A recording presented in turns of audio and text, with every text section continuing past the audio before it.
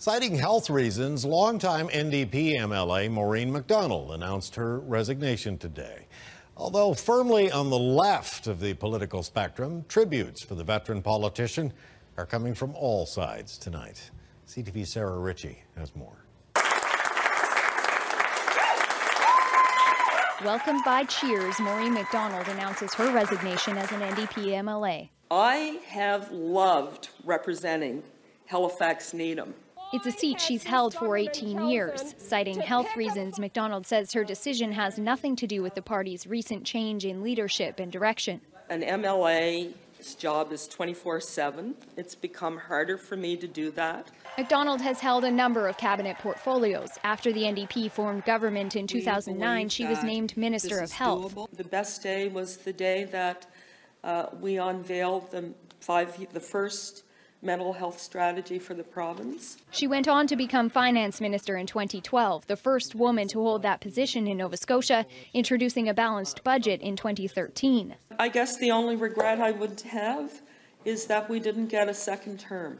The party suffered a major defeat in the 2013 election. One of only seven NDP MLAs elected, MacDonald assumed the role of interim party leader after Darrell Dexter stepped down, becoming a strong opposition voice. Maureen has been a, a dedicated member of, of, this House, deserves the respect of all members of this House. We don't always agree on public policy, but uh, we respect her ability as a legislator. Her constituents lose a very strong voice here at Province House.